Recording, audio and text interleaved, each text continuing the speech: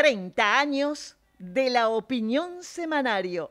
Tres décadas con la versión original de los hechos.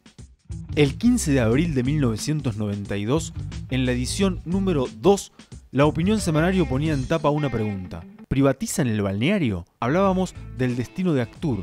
La discusión sobre la privatización o no del balneario municipal ganaba la calle.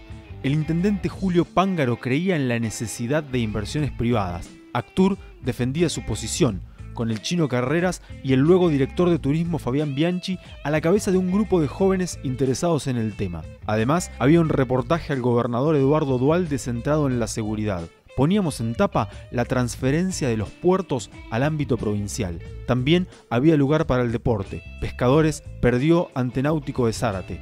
Hablábamos de básquet.